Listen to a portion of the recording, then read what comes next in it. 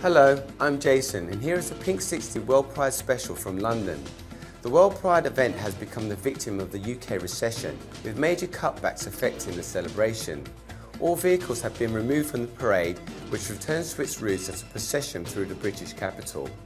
Soho, the heart of the London gay scene for over 15 years, has had all official activities cancelled. Local businesses are expected to carry on though without official sanction.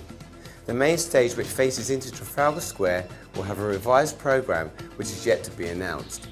Performances will also begin at an earlier time as will the parade. And finally, World Pride's Communications Director told Pinksixty, Pride will go on, just not in the way originally planned. We urge the community to understand the facts, support Pride in its time of need, rally together and still make the stand for global LGBT rights. For updated information, please go to the Pride London website. That's all from us today. Join us again tomorrow.